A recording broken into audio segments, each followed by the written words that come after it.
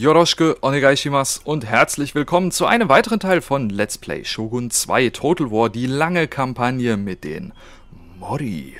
Und im letzten Teil haben wir unsere Siedlung so mehr oder weniger verwaltet. Wir haben vor kurzem den Auftrag erhalten, die letzte Provinz der äh, Amako einzunehmen.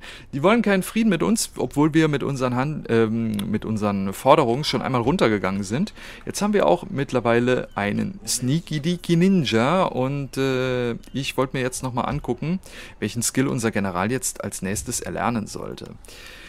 Ähm, ja, also, was haben wir hier? Kommandant der Kavallerie. Das ist nicht so schlecht. Was haben wir hier? Religiös. Bekehren von Provinzen ist auch okay. Effektivität der Sammelfertigkeit, Unterhaltskosten der Einheiten, das ist eine feine Sache.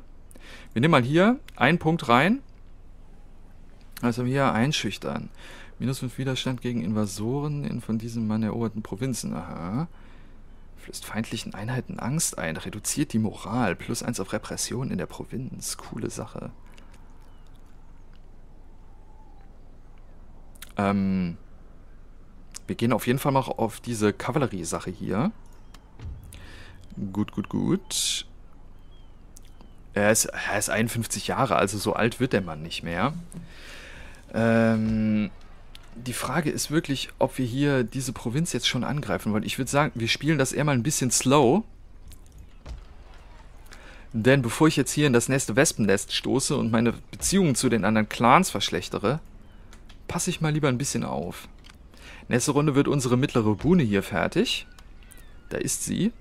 Äh, nee, das da dauert dann leider noch ein bisschen. Dann machst du mir hier noch eine Bogenkobaya. Die kriegt ja einen Erfahrungsbonus, kostet nur 100. Ah, nee, warte mal kurz. Geh mal hier weg mit dem Teil und öffne mal den Diplomatie-Screen. Ich will immer noch mit den Chosokabe handeln. Ähm, ja. Äh, Handelsabkommen anbieten. An knurrt, hört man hin. Aber man lässt ihn nicht zum Tee hinein. Da, ja, da hat er eigentlich recht. Ähm, Okay. Also bevor der Tiger, der jetzt gerade bei dir vor der Tür knurrt, uns irgendwie unterbricht, äh, Zahlung anbieten, ähm, äh, äh, warte, äh, äh, nee, machst du. 500 über 5 Runden wiederholt bezahlen. Inakzeptabel. Shit.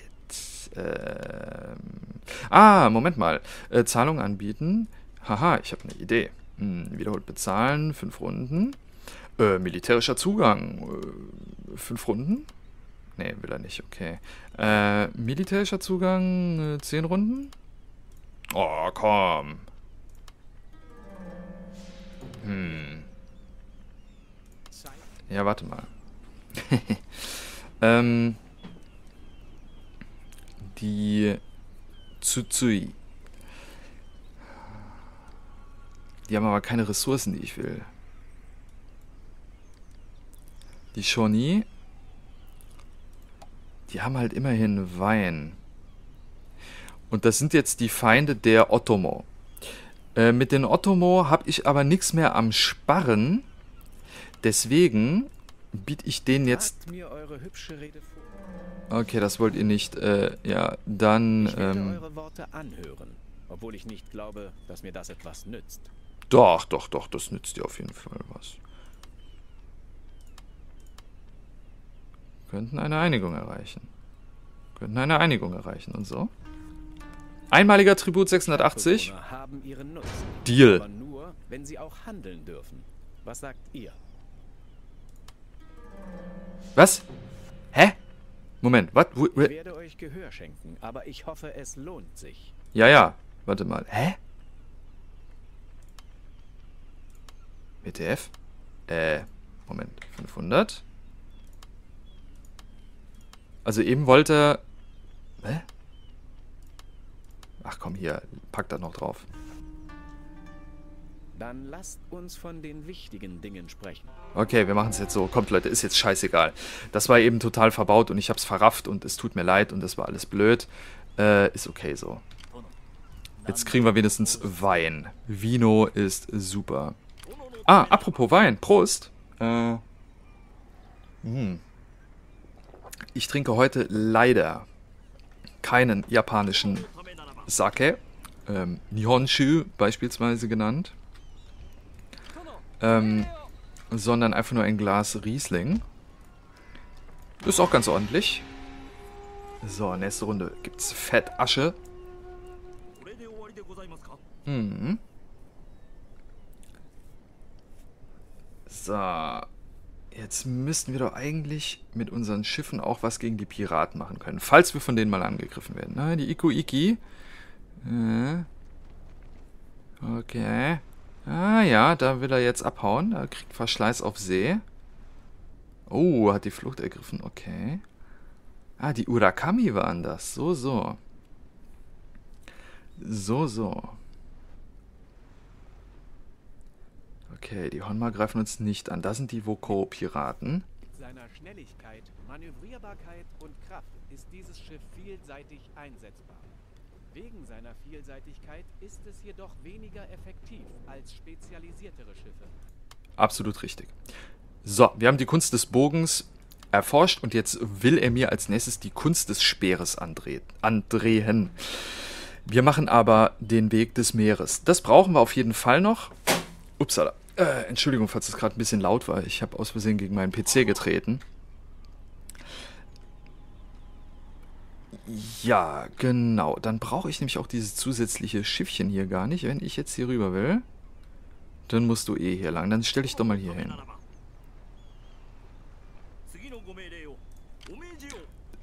Ja. Oder sagt er jetzt tatsächlich Gomereo? Also ich verstehe immer Gomereo. Und dieses äh, Tsungino heißt, äh, was gibt's als nächstes? Also Tsungino Gomereo oder Tsungino Omereo. Ich glaube Omereo. Omereo. Ja, also dieses O am Ende als Frage. Und dieses Tsungi heißt so viel wie das nächste.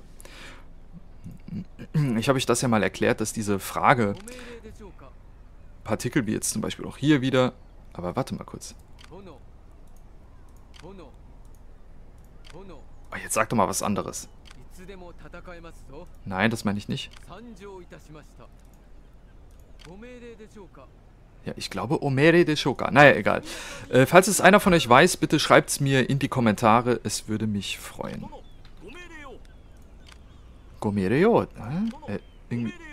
Ja, also, ich, äh, ich muss das nochmal nachgucken. ja. What? Ich kann das Schiff nicht reparieren? Oh. Das ist aber äußerst schade.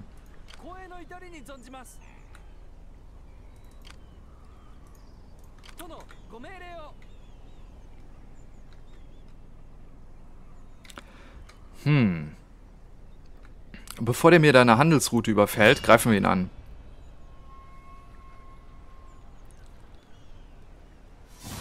Hm, automatisch. Sehr gut.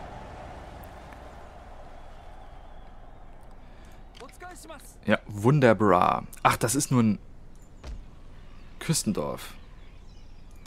Wir bauen einen Hafen. Warte. Wir bauen einen Hafen. Warum habe ich noch nicht direkt einen Hafen gebaut? okay.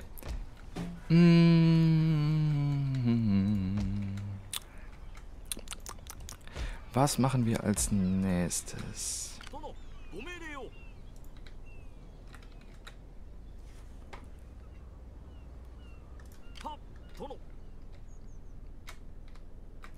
Schade, das langt noch nicht direkt bis dahin.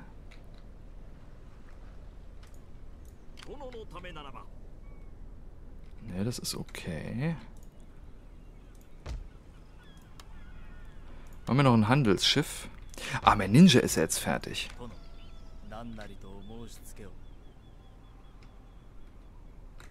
Hm. Ich will gerne hier runter. Es bietet sich aber auch an, hier oben lang zu laufen.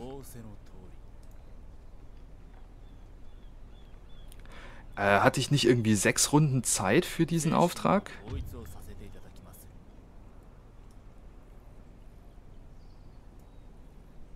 Fünf Runden habe ich jetzt noch, ja genau. Plus zwei auf Moral für alle Einheiten. Cool.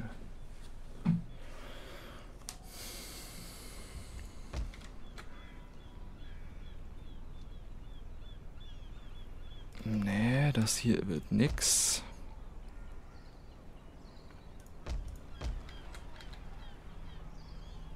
Ich kann die Straße ausbauen. Machen wir das.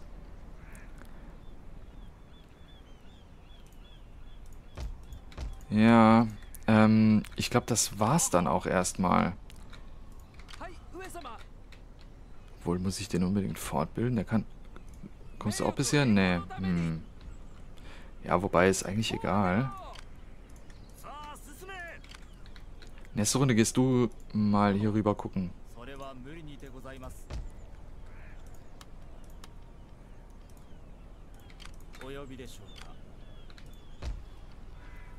Äh, hab ich irgendwo noch was hier liegen lassen?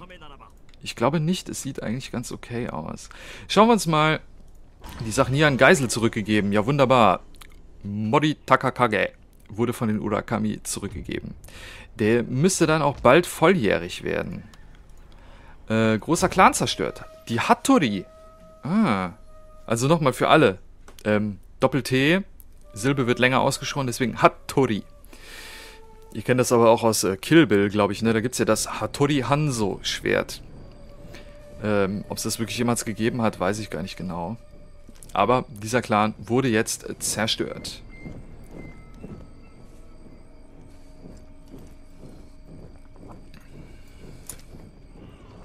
Nein. Durch ein hinterhältiges Attentat. Übel, übel, übel.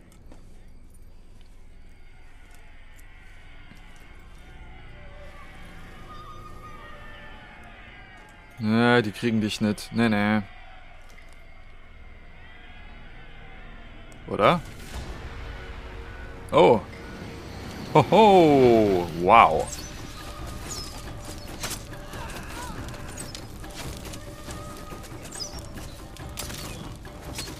Oh shit.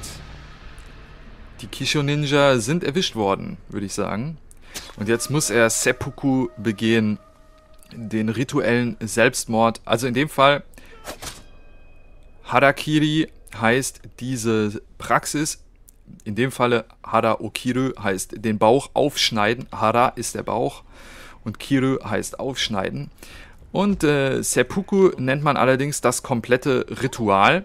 Zudem nämlich auch gehört, dass nachher der Kopf von einem Freund abgetrennt wird. Ähm, da gibt es ganz feste Regeln. Ich habe das schon in meinem Let's Play mit den Shimazu erklärt. Man darf also kein Zeichen der Schwäche und der Reue zeigen. Also man darf, man muss auch in eine bestimmte Richtung gucken. Der Kopf muss in einem Schlag mit dem Katana, mit dem Schwert abgetrennt werden. Und meistens macht das der beste Freund desjenigen, der eben Seppuku begeht.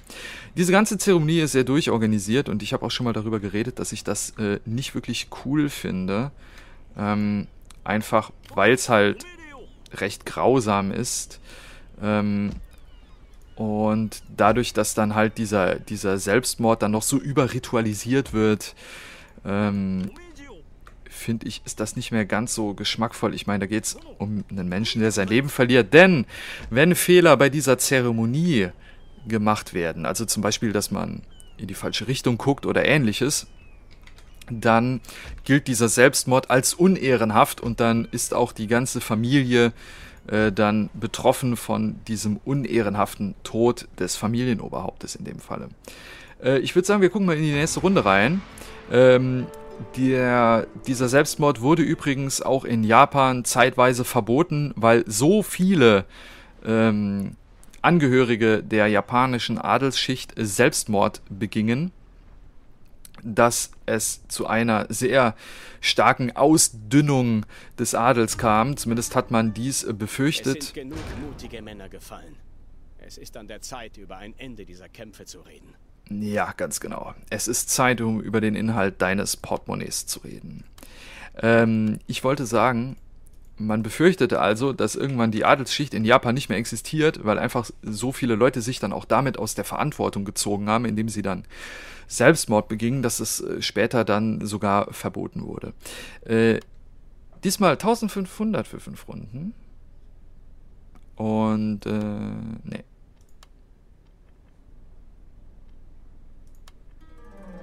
Oh, okay, er will nicht. Vielleicht hat das auch was damit zu tun, dass ich diese Mission habe. Ist da nochmal ein Shoni? Nee, ne? Oder, nee, doch, hm, äh? Na, mal gucken. Oder ein Amako-Schiff. Ich weiß jetzt nicht. Ich hab nie ah, die Woko-Piraten ziehen sich nach. Oh, da ist nochmal einer. Okay, den werden wir gleich angreifen, denke ich. Jetzt erstmal unser Ninja. Ja, du musst jetzt mal hier auskundschaften.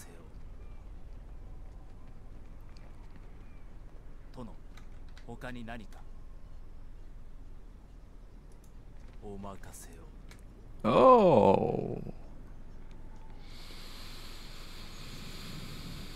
Ho, ho, ho.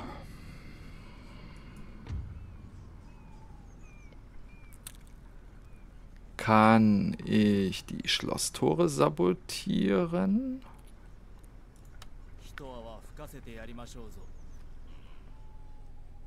Schauen wir mal, was macht denn unser Ninja? Ah, das ist ja noch schlimmer als in der Free-Climbing-Schule. Oh! Oh nein, die haben mich gesehen. Äh, shit, äh, ab ins Blumenbeet.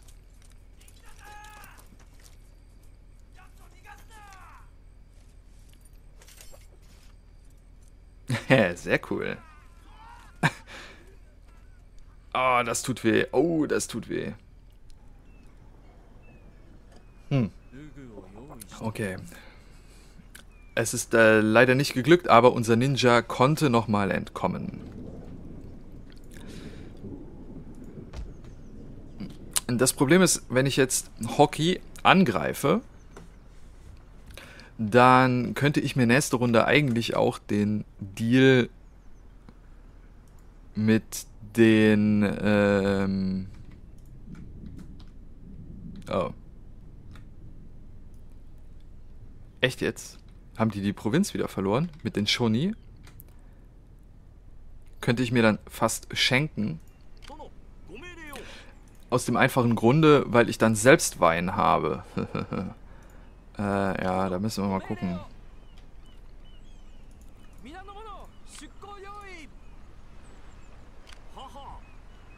Repariere mal das Schiff. Ah, wir können die Sackeschenke ausbauen zu einem Spielsaal. Das ist gar nicht mal so schlecht. Äh, wie viele Schiffe haben die noch? Eins. Da könnten wir gleich einen Angriff drauf wagen. Äh, aber das machen wir dann am besten jetzt, bevor wir unser Schiff da bewegen.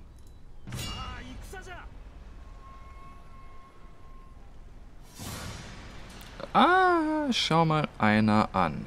Sieben Erfahrungspunkte. Hallöchen versuchen wir die direkt zu entern. Also das Problem bei den Voko-Piraten ist, dass die Schiffe von denen relativ hohe Unterhaltskosten haben, aber sieben Erfahrungspunkte ist es mir echt wert. Das können wir wirklich riskieren, denke ich. Okay, da die da unten starten werden, werden wir sie sehr wahrscheinlich kriegen. Das sollte doch eigentlich machbar sein. Dann werden wir mit dem Schiff wieder zurück in den Hafen segeln und das reparieren.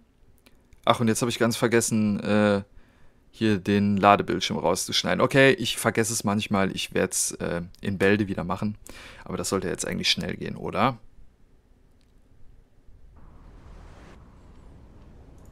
Ob das jetzt Nebel ist oder nicht, ist eigentlich nicht so entscheidend.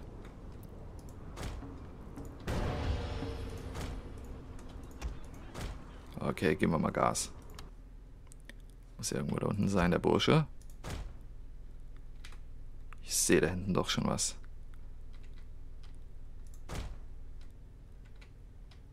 Komm, der hat nix.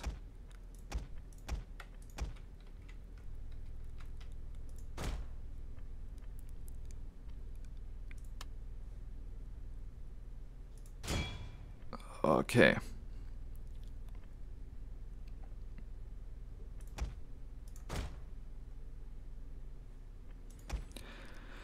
Sehr nice.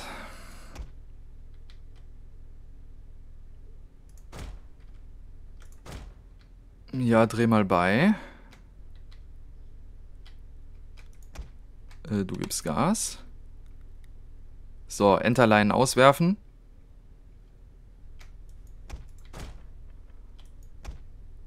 Habt ihr die Enterleinen ausgeworfen? Okay, und äh, ja, um, fortsetzen. Also ich will halt schon, dass das Schiff geentert wird. Denn mit sieben Erfahrungspunkten... Äh, mit sieben Erfahrungspunkten müssen wir das Ding auf jeden Fall holen. Das ist jetzt für den Anfang auf jeden Fall saugut. Äh, ob wir das später noch brauchen, das sei jetzt mal dahingestellt, aber auf jeden Fall für den jetzigen Zeitpunkt ist es sehr wichtig, weil uns das auf See doch einen sehr großen Vorteil bringt. Ich glaube, die ähm, eine der kleinen Bogenkobaya, ich weiß nicht, ob wir die behalten sollen. Okay, sehr schön. Ja.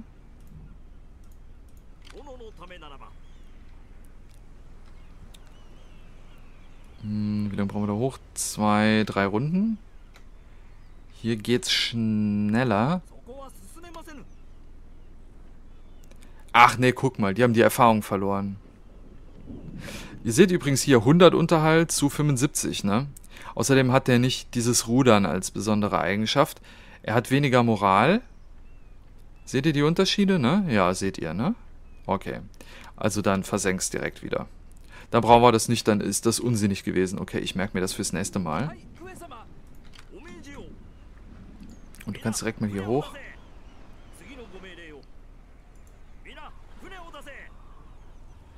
Ja. Und wir brauchen mehr Schiffe. Wir brauchen noch ein paar Handelsschiffe. Ich brauche mehr Handel. Ähm, gut. Wie viele Runden haben wir noch für unsere Mission? Vier Runden. Kein Zeitlimit auf das. Gut. Die Zufriedenheit hier ist eigentlich momentan recht gut. Oh. Zwei Erfahrungspunkte. Ah. Gar nicht mal schlecht. Verbesserte Bewässerung. Handwerker. Cool. Mhm, mhm, mhm, mhm, mhm. Weiß noch nicht genau, wie ich das hier mache. Ich denke mal, dass der Handwerker hier sehr wahrscheinlich... Ähm... Ja, der Pfeilmacher. Dann müssen wir sowieso Bogensamurai hier ausbilden. Dann können wir uns das Ding hier schenken. Das brauchen wir dann nicht. Denn es ist äh, Quatsch, hier Bogensamurai auszubilden, wenn in der Provinz nebendran die Dinger einen Erfahrungsbonus und einen Trefferbonus und bla bekommen. Wir bauen dann mal hier noch eine Straße. Dann gucken wir mal, dass wir jetzt unser Straßennetz halt ein bisschen verbessern können. Schwertschule, Bogendojo. Äh, Schwertschule wäre noch interessant vielleicht, wegen Katana Samurai. Hm, aber so wirklich interessant ist das momentan auch noch nicht. Hm, das ist alles recht teuer. Es ist jetzt vielleicht ein bisschen äh, überheblich von mir schon mit dieser Provinz zu rechnen, als würde ich sie gleich erobern, aber ich werde sie ja gleich erobern. Äh, also die Ouchi sind momentan noch meine Verbündeten. Ihr wisst ja, Geschichte, ne, so 1560 rum oder so haben die sich ähm, gegen die Ouchi aufgelehnt, meine ich. Hm, hm, hm.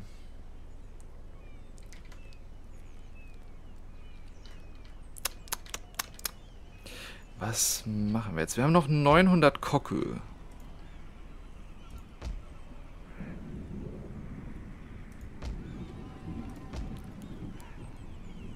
Äh, warte mal kurz.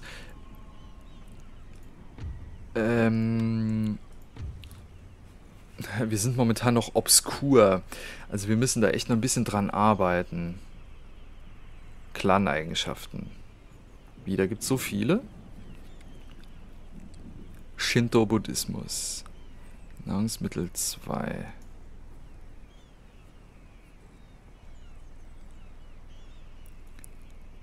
Ja, ähm... Feinde sind momentan nur die Amako. Ich will mit den Chosokabe handeln, die haben echt gute Ressourcen. Ich werde euch Gehör schenken, aber ich hoffe, es lohnt sich. Jetzt ist es auf einmal zufriedenstellend. Sehr geil. Okay, cool. Perfekt. Perfekt, perfekt. Dann können wir vielleicht sogar jetzt, äh, dann konnten wir vielleicht jetzt mit den Chosokabe handeln, weil wir den Wein von den Burschen da bekamen oder irgendwie sowas. Oh, das ist aber eine ungünstige Handelsroute. Ah, die bauen gerade in Io einen äh, neuen Hafen. Dann dürfte das damit was zu tun haben. Wie sieht es denn mit den anderen Clans aus? Da müssen wir mal gerade reingucken. Ist uns irgendeiner feindlich gesonnen? Eigentlich nicht. Die Urakami sogar freundlich. Hm, minus 40, nicht gut.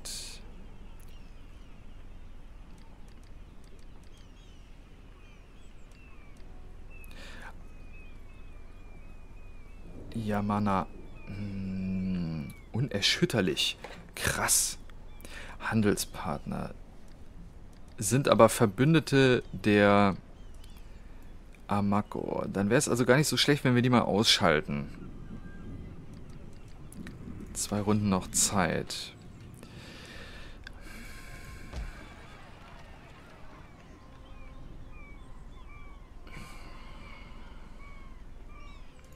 Haben wir hier schon unseren Stall?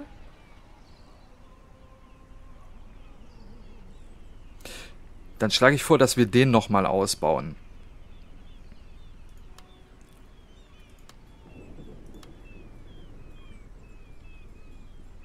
Die leichte Kavallerie ist okay zum Aufreiben von Einheiten, aber sie ist nicht wirklich stark. Ich hätte gerne sowas wie Yari-Kavallerie oder so. Die ist auch sehr gut gegen gegnerische Kavallerie. Das, das ist immer eine sehr coole Einheit, um einen gegnerischen General aufzureiben. Insofern bleiben wir da jetzt mal dabei. Also wir machen das hier ganz, ganz slow und easy. Jawohl. Nee, da bauen wir dann nichts weiter. Da können wir dann irgendwann nochmal bei Zeiten auf das Piratenversteck gehen. Nächste Runde.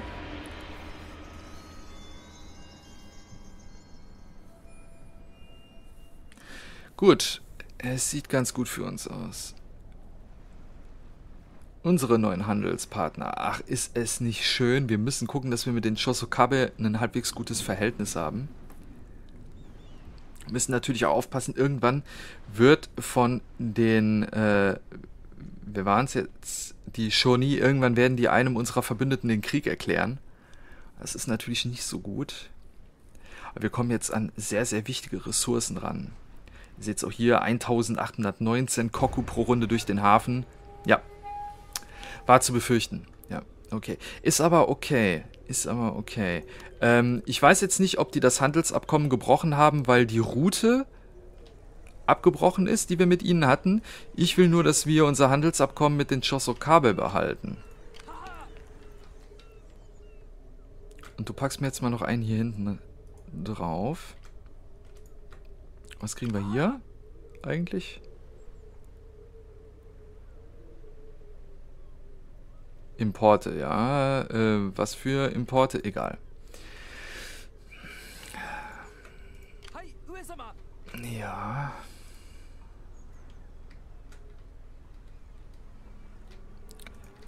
Mhm.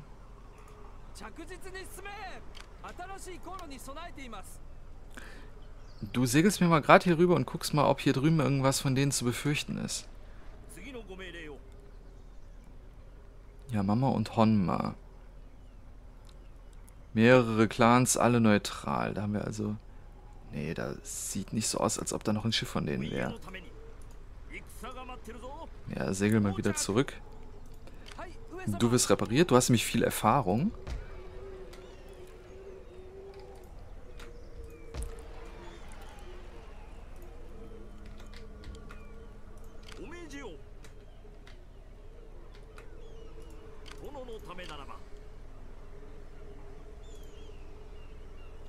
Zeig mir das nochmal gerade. Unsere Beziehungen zu diesem Clan haben sich so sehr verschlechtert, dass der Handel ab sofort abgebrochen wird.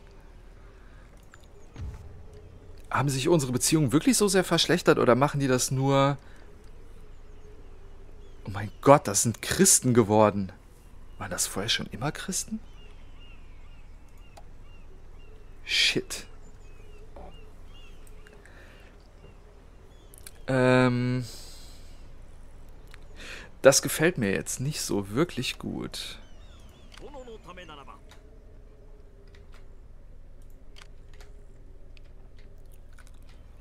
Das gefällt mir nicht. Hoho, sieben Erfahrungspunkte. Aber sehr schwach mal dann. Aber der bildet das gerade fort, ne? Oh. Piraten. Shit. Wow, wow, wow. Ab in den Hafen. Ach du Scheiße.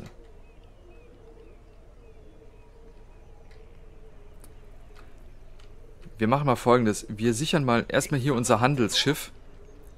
Denn wir werden ja bald Meister der Wellen sein. Und dann werden die Rekrutierungskosten für unsere Marineeinheiten billiger. Und dann bauen wir hier jetzt das Piratenversteck. Denn dann kriegen wir mehr Erfahrungspunkte auf unsere Marineeinheiten, die wir hier fortbilden.